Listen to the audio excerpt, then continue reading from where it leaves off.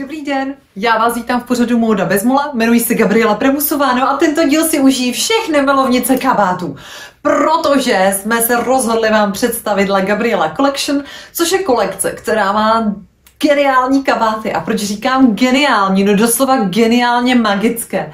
Protože se nejedná o kabáty, které by byly pouze z vlny, což je u nás samozřejmost, ale oni mají termovložku. Mají termovložku té nejvyšší kvality, vyrobenou v Německu. Materiál, svrchní materiál je samozřejmě italský, protože je to vlna kašmír s nylonem, takže báčná kombinace tak, aby vám vydržel kabátek co nejdéle a hřál, protože jsou to vysokogramážní vlny a tyto vlny patří mezi opravdu hřejivé záležitosti a milé ženy neprofouknou. No a co vás čeká uvnitř? Tak uvnitř ještě navíc jako bonus vás čeká pružná počívka, což je velmi důležité pro komfort nošení a pro pohyb. Často se mi stávalo, když jsem ještě pracovala v Pětru Filipi, že mi začali vždycky muži a ženy dělat v kabátech jako toto, ty rozcvičky, jo, to jsem milovala, protože samozřejmě, že kabáty, které mají pevnou definovanou formu, na to úplně nebyly určené. Každopádně tyto kabáty mají pružnou počívku a tím pádem se v nich opravdu můžete hýbat, přestože pořád drží fazonu a formu. No a my už teď podíváme na malé video. Mimochodem, kdybyste to nemohli vydržet, tak na www.lagabriela.cz najdete kabátky z La Gabriela Collection.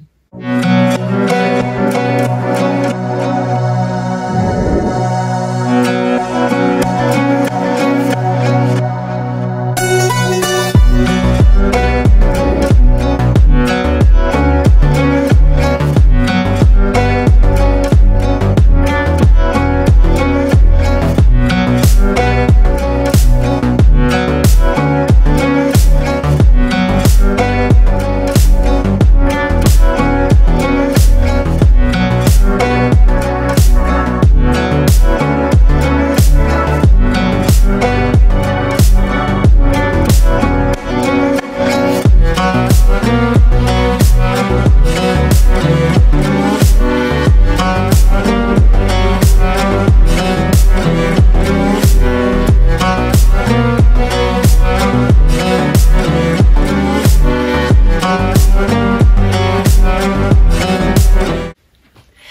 vím, že už se těšíte, až budu vytahovat a povídat o jednotlivých kabátech. Každopádně my si musíme povědět něco o té termovložce, která je vevnitř. A věřte, že než jsme nechali vyrobit ty kabátky, tak jsme testovali, zda funguje a jaká verze z těch vložek je ta nejlepší. Eh, je pravda, že když tam máte tuto termovložku, tak já jsem chodila s pejskem eh, opravdu tak, že jsem měla krátký rukáv a na tom jsem měla jenom kabát, bylo asi nějakých minus 7 stupňů a bylo mi fajn, což je u mě neuvěřitelné, protože já jsem zmrzlík. Uh, tu termovložku vždy najdete v rukávech, ale také v celém trupu. Záda i přední dílo vždy tak zhruba kolem partý boku, i když ten kabát je dlouhý, tak vždy to končí v oblasti pod zadečkem, dá se říct. Tak tam končí ta termovložka, tak aby vlastně vás hřála v této partii a pak už dolů ty nožky, to už nepotřebujete, pokud kolem sebe máte vlastně tu vysokogramážovou vlnu. Jak bych vám představila to, jak funguje ta termoregulační vložka. Funguje, jako byste v místnosti otevřeli okno. To znamená, když se vám zdá, že ten vzduch vevnitř už je nedychatelný, tak samozřejmě přirozeně otevřete okno, vyvětráte a zase zavřete. Stejně funguje ten kabátek. Jestliže jste venku, je vám chladno, pory se uzavřou a vlastně ta ta masa toho vzduchu cirkuluje pouze mezi vámi a tou vložkou. Jakmile ale třeba přijdete do obchodního centra nebo někde, kde je prostě horko, tak automaticky se pory otvírají a vlastně ten kabát začíná skvěle dýchat. Takže eh, funguje to opravdu báječně, funguje to, mám to vyzkoušené, samozřejmě testovala jsem na sobě kde jinde, abych zajistila to, že tyto kabáty opravdu uh, budou takové, že se pod ně podepíšeme. A já už věřím, že se těšíte na tu plejádu barev a já samozřejmě zmíním i střihy, aby jsem vám zjednodušila výběr. Takže ty z vás, které zajímá, jaký střih je pro jaký typ postavy u kabátu vlastně vhodný, tak zůstaňte, protože tento díl bude převážně o tomto. A my si hned pustíme ještě další varianty tohoto, dá se říct, kabátku ve stylu prodlouženého blazeru.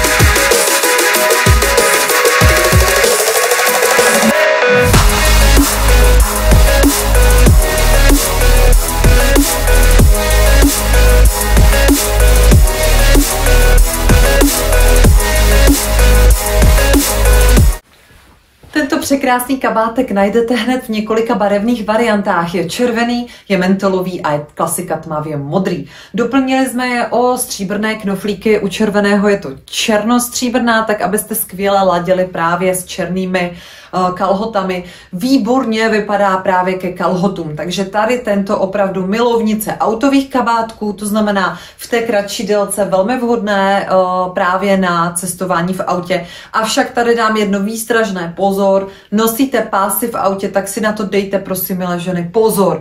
Například dejte si šálu, kterou když jedete, tak uh, si opravdu tu šálu dejte v té pozici, kde máte to tření mezi tím kabátem a tím pásem, aby nedocházelo zbytečně k poškození toho materiálu. Ale to máte prosím úplně u všeho, doporučuji jít to i u bund, protože ty bundy mají také třeba jemnější nylon, udělají se vám tam neplechy. Uh, samozřejmě kabát uh, před uh, řízením bychom měli sundávat, ale známe své lidi, já vás znám a vím, že ne všichni to děláte.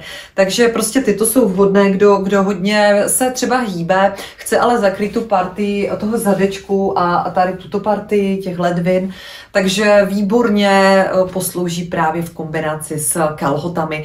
Jak jsme viděli i na videu, kde vlastně to bylo v kombinaci buď s kůží, anebo s širokými kalhotami. Takže tady chci říct, že pozor, že opravdu výborně vypadají s širokými kalhotami, s kapsáčovými kalhotami k eleganci, anebo potom k těm slimkám, ať už v denimu, anebo v té kožené variantě. A z mého oblíbeného mentolu, kde ta barvička opravdu velmi sluší, ženám buď světlých očí a tmavých vlasů, anebo blondýnkám, které jsou prostě světlonké a třeba ty černé uh, barvy nebo červené na ně jsou příliš výrazné, takže ta mentolová, jako když najdete, rozsvítí vám pak ten podzim zimu, protože často jdeme do tmavých kabátů a myslím si, že je to docela škoda. Každopádně trend nám nevelí vůbec tmavé kabáty, ale v trendu jsou právě pastely a nebo například právě velmi prosazující se šedá. Ale já na sobě šedou nemám. A kdo si troufne na bílý kabát? Opravdu někdo, kdo umí nosit bílou, kdo se jí nebojí a kdo ví, že vlna má samočistící schopnosti a jediné, co vás tady upozorním, tak samozřejmě, když si zapnete kabátek až ke krku, tak tady noste prostě šálu. E, nic víc, šátek hedvábný bude vypadat skvěle. Je to kabát, který byl opět určený spíše na nošení ke kalhotům právě z toho důvodu, že má zip a je trošku takzvaně sportovně laděn. Každopádně jedná se o záležitost, která je tím zipem jenom pouze funkční, aby nám zrychlila to oblékání. A tady už vidíme, že je do takové sukničky, takže krásně vypadá právě s vyštíhlenýma kalhotama. Dáte si kozačky a prostě běžíte. Přesto budete vypadat jako víla princezna. No záleží, kterou z varianci vyberete. Eh, tato varianta v bílé mi přijde absolutně famózní, protože bílý kabát to je něco nadpozemsky krásného, navíc je teplý. Uh, vidíte skryté kapsičky na zip, takže neviditelné zipy, řasení, řasení ve spodní partii a uh, kapuce je prosím odnímatelná, to znamená, můžete udělat z toho kabátek, který kapuci prostě nemá. Tento je dostupný hned ve čtyřech odstínech. Pokud nenajdete u nás na stránkách na www.legabriela.cz všechny verze, puste si prosím náš předešlý díl, kde jsme ukazovali fashion show a tam opravdu máte všechny varianty všech těch kabátů na tom mole, takže mi pošlem klidně obrázky. Nejsme schopni tak rychle fotit, takže určitě dodáme, ale ať víte a máte představu, jaké, že tam najdeme barevné varianty, tak je tam černý střed 3D vlisovaným vzorem, eh, tmavě zelený, pak je tam nádherný mentolový, anebo tento bílý. No a my už se pojďme podívat na další verzi, eh, kde si povíme rozdíl mezi tímto kavátkem a dvouřadým.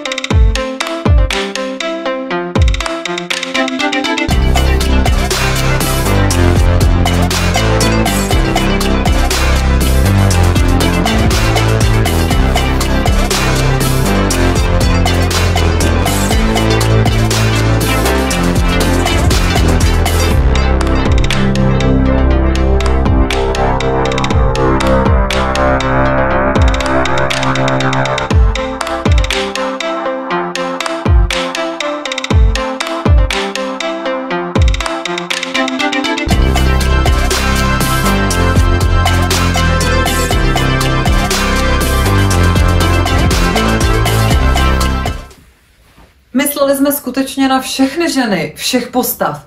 A mnoho z vás po celé České republice jsou samozřejmě ty postavy hruška, nebo tvarované postavy, anebo ženy, které mají chuť mít vypasovaný kabát ale nemůžou mít úplně ten natěsno vypasovaný, ten, že tady vlastně nedají už vůbec nic kolem toho pasu. Takže ty postavy třeba jablíčko. Velice, velice šikovný kabát je na to právě ten, eh, o kterém jsme hovořili, ten, na ten zip. Protože my, když se podíváme, tak nejenom, že kontrastní zip nás zvedne opticky do výšky a trošku přepulí tu masu, tu postavu, i třeba ve větší velikosti, ale zezadu máme to samé. A navíc tady máme zip, který, když se podíváte, tak on není jenom na ozdobu, ale ale je funkční. A funkčně tady proto, protože vlastně ten zadeček, který může být mírně ještě i vyklenutý ven, eh, se tam tak dostane do komfortu a neudělá nám paseku, nebude nás tady tahat nic. Eh, samozřejmě ten střih je přizpůsobený takhle mírně do a do té bublinky, takže eh, pohodlně se vejde zadeček a zároveň vám velmi svědčí postavám typu hruška například, svědčí kapuce nebo límce přes ramena, kde ne vždycky sedí správně ramení švy a může se zdát, že takové ty čisté kabáty, ty ostré právě s těma klopama, uh, vám nesedí úplně dobře. Takže, milé ženy, Chcete skvělý kabát a máte typ postavy jablíčko, hruška a nebo přesýpačka, tak volte tyto dva. Proč říkám, že je vhodný také pro jablíčka, když jsme si teď vysvětlili, že o, tady máme ten zadeček? Právě protože když necháte o, ten zip zavřený a dáte si třeba úzké kalhoty, které tak sluší všem typům postav jablíčko, které mají nádherné nohy, tak vlastně opticky zase ten kabát sedí. Máme to už naskoušeno, viděli jsme to, je to nádhera a to samé funguje u toho kabátu, který mám já aktuálně na sobě a řeknete si, mm, ta šedá se mi třeba nelíbí, anebo naopak líbí. Každopádně je měkoulinkastý, jako bez lehonkým chloupkem, takže velmi takový komfortní na nošení Mám pocit, jako bych na sobě vlastně nic neměla, no a já vám ukážu ještě takovou jednu rafinovanou věc, že samozřejmě toto je kapuce, co mám uh, tady teďka. Ale může se stát, že začne hodně foukat silný uh, vítr, sníh a vy si řeknete, no a co já teď, jako jo. Uh, takže tady je úplně lehká, rafinovaná záležitost, že je tady takhle gumička a vy si můžete ten kabátek pozapnout a vlastně vytvořit si takový ještě i límec. Takže dá se to vždycky dopnout až ke krku tyhle ty rafinované záležitosti a vytvoříte si úplně, úplně jiný kabát. No a aby to ještě nebylo málo, tak ho máme v dalších barevných variantách a protože ho tady teď aktuálně ve studiu nemám, tak vám ukážu obě dvě varianty. Toto je temně modrá s šedivou a tady máme takovou jemnou bílou s šedivou. Takže nádherné kabáty, které opět, když nenajdete na www.gabriela.cz, eh, tak pište, pište, pište eh, a my vám samozřejmě dáme veškeré informace. No a teď už pojďme na další video.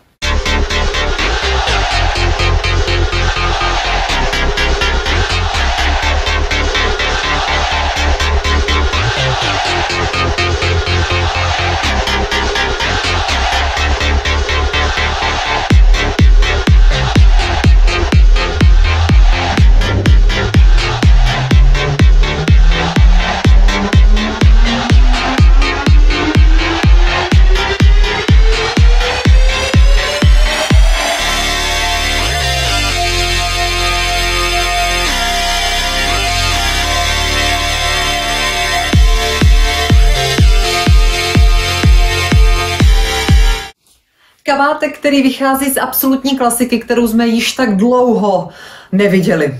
A hned ve třech barvách. Černá, taková ta okrově žlutá, nebo šafránová, říkejte tomu, jak chcete, každopádně je to ta nádherná teplá žlutá a pudrově růžová pro letní typy.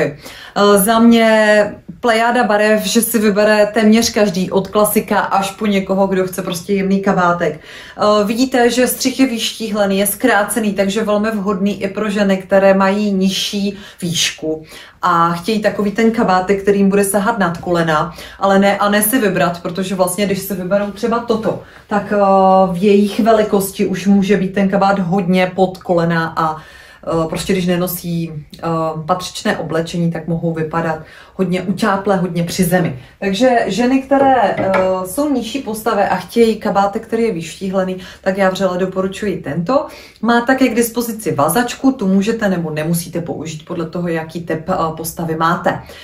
Tady, co je důležité za zmínku, tak když já ho takhle jako aspoň zlehka pozapínám, tak opět je to klasické V, klasická fasona, akorát my ji můžeme takhle zvednout a vlastně opět si ten kabát úplně zateplit, a dostat se do toho, že máme vysoký stoják. Tady stačí už opravdu hedvábný šáteček. Proč říkám hedvábný? Protože ten vás zahřeje i v zimě, milé ženy, na to dávejte pozor. Ve chvíli, kdy si vezmete polyesterový, tak on v zimě chladí a nehřeje. To je takový významný rozdíl mezi těmito dvěma verzemi šátku. Hedvábičko určitě doskladníme také i o, na Vánoce, protože je mi jasné, že budete kupovat dárky, takže se máte na co těšit, protože i ke kabátům byly vybírány speciální barvičky, tak abyste si to uměli doladit. A na mě už vidíte, jak je báječná jedna širá čepice, která mě provází opravdu celým dílem, protože se hodí ke všem těmto kabátkům. A my pojďme na další kabát.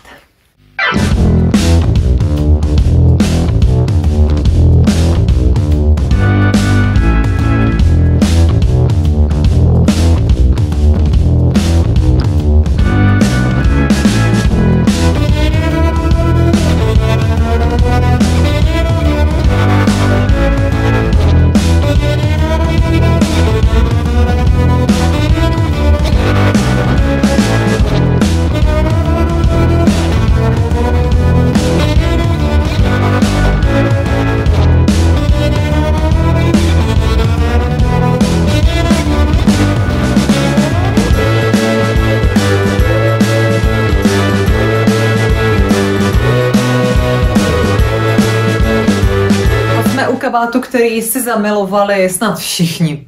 Úplně nádherný materiál, kdy ten kabát je černý, ale díky stromečku vlesovanému dovnitř, to znamená rýškům, které se takto pro, prolínají, tak se nejedná o hlubokou černou, ale spíše ten kabát působí jako takový temný antracit.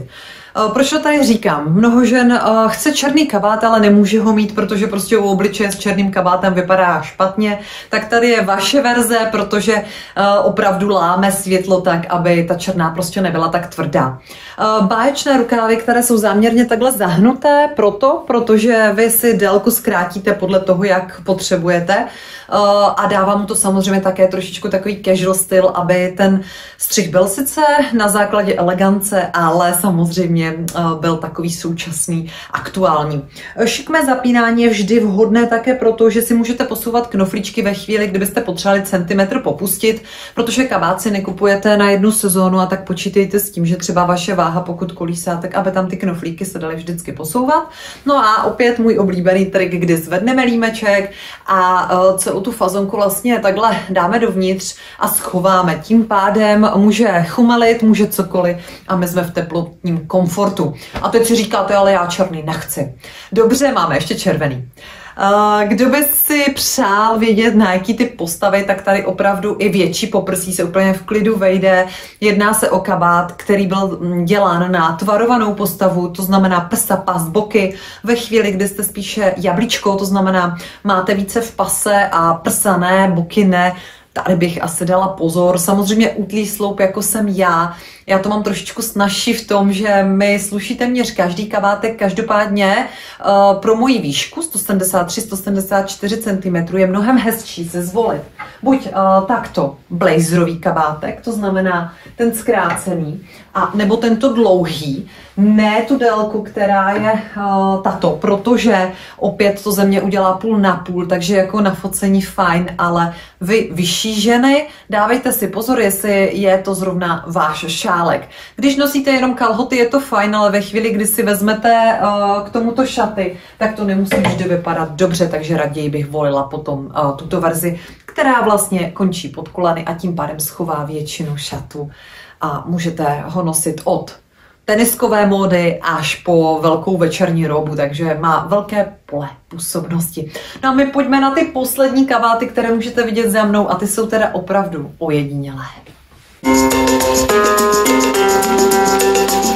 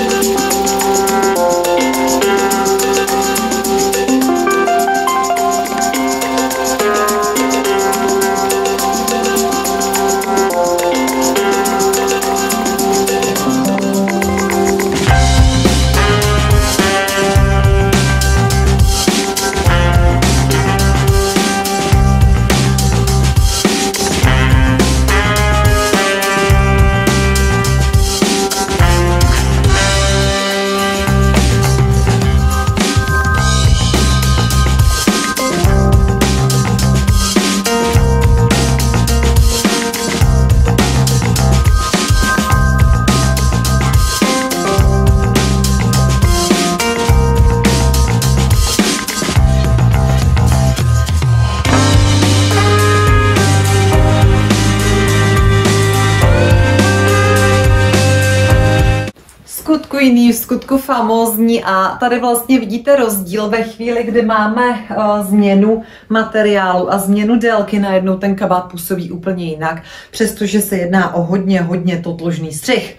Uh, tady máme délku, to, co mám na sobě já, je opravdu ta kolení délka, tady máme tu zkrácenou, to znamená, je to o vás, když nosíte i šaty, klidně volte tu delší, uh, je ale hodně vyštíhlená ta fazona, takže s tím počítejte, že opravdu já, když to takhle zapnu a teď aktuálně mám na sobě 36, tak bych jinou nevolila a mám pod tím jenom tenký uh, vlněný relax Esquala a to stačí, jo, jako opravdu tam necpat uh, nic víc, nebude to potřeba.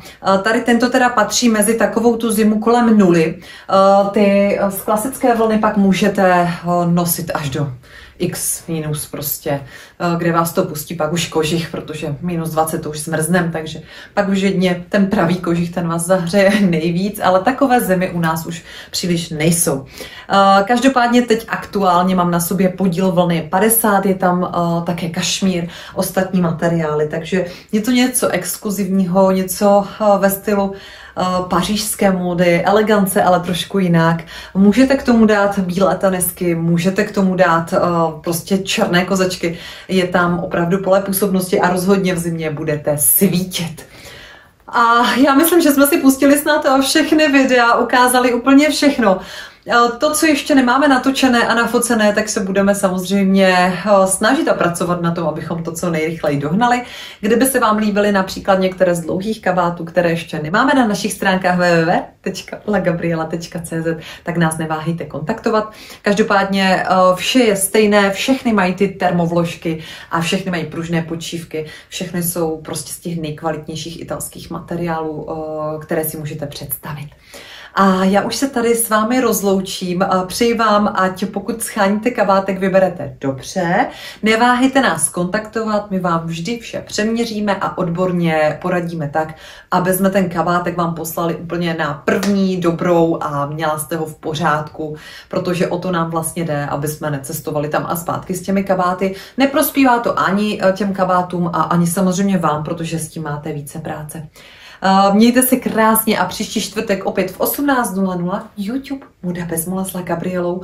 Nezapomeňte dát like, pokud se vám kolekce a celý ten pořad líbí. A tady někde běhá odběr kanálu, takže určitě klikněte, abyste se stali součástí naší rodiny, protože to, když já zapomenu, tak uh, opravdu je mi to velmi líto, protože to je jediný kontakt s vámi, který já mám mimo krásné maily, které mi chodí, takže ještě jednou díky za všechny krásné maily, za vaši energii, za vaše objednávky, protože díky vám tady stále jsme a můžeme natáčet uh, tyto pořady pro vás. Naschledanou.